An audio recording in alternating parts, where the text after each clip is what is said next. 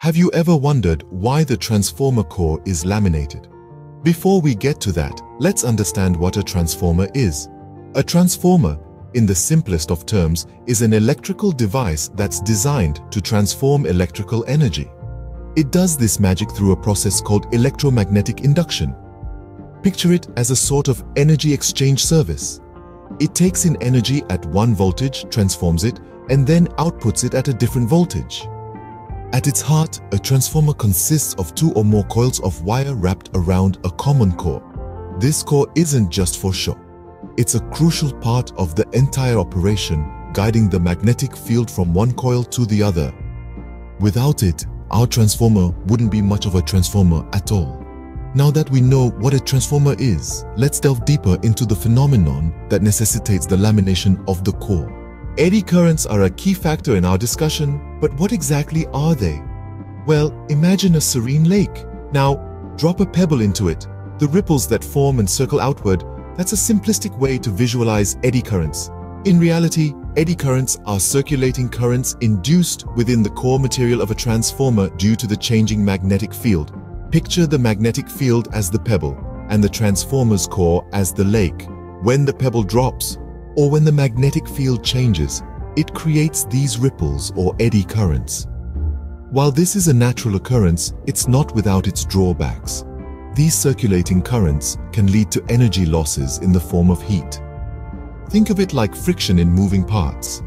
Moreover, they can also cause unwanted electromagnetic interference, which can impact the performance of the transformer.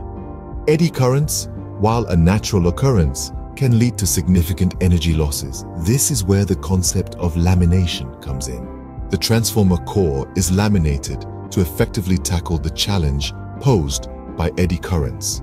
But how does this work? Well, let's dive into it. The process of lamination involves layering the core with thin, insulated material, often made of silicon steel. This layering technique is not just for show. It serves a very specific and important purpose. By creating these layers, we minimize the effective area where eddy currents can circulate. Now you might ask, why is this important? Here's the thing.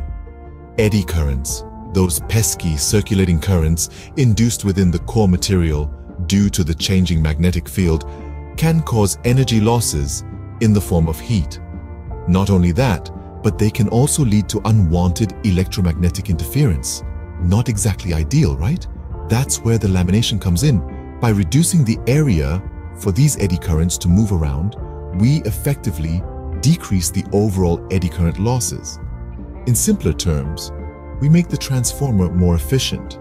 But there's another layer to this, no pun intended. The insulation between the laminations also plays a crucial role. It helps to prevent the formation of continuous loops for the eddy currents, further decreasing energy losses. Think of it as an additional barrier that keeps those troublesome eddy currents in check.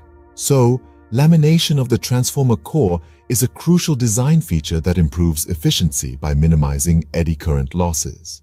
Let's quickly summarize what we've learned today.